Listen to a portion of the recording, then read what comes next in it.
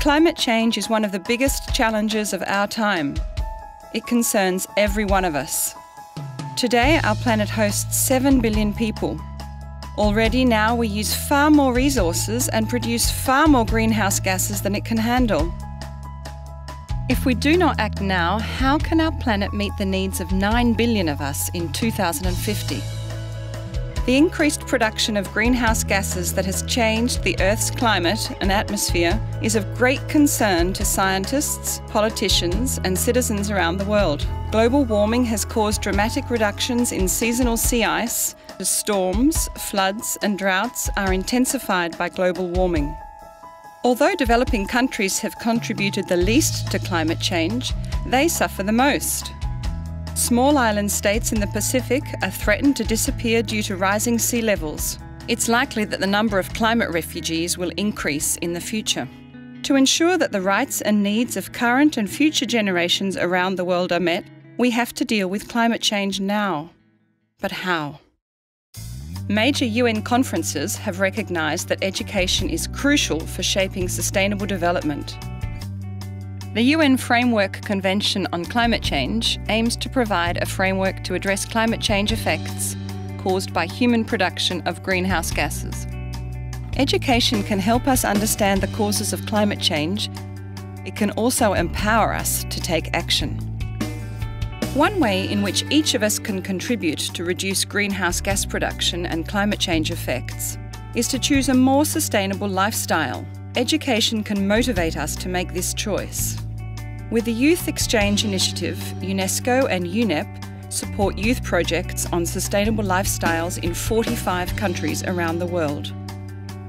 Education programs can especially increase capacities of those who are endangered the most to deal with impacts of climate change, people from rural areas, coastal communities, girls, and women. Dealing with the global challenge of climate change raises the question of what kind of education we need in the future.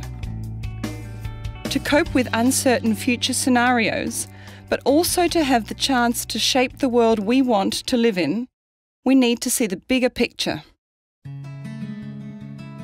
Empowering our children and youth today to solve the challenges of tomorrow is a great idea. But how does it actually work?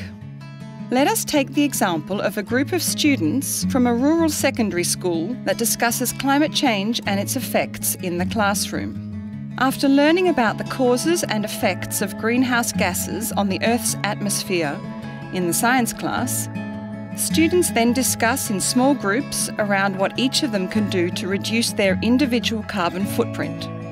They develop a checklist on how to save energy at home and in the classroom, and they organise small information meetings for their classmates and the local primary school.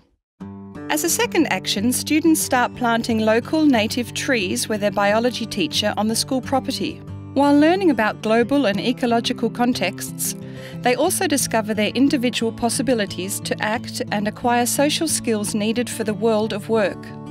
Taking on ownership of the project, a group of students also informs the local community about their project at community festivities and provides information to the school magazine and the local newspaper to disseminate their work.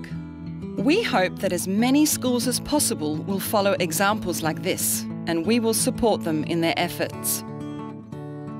Education is a powerful tool to address climate change and to ensure that the rights and needs of people today and tomorrow can be met.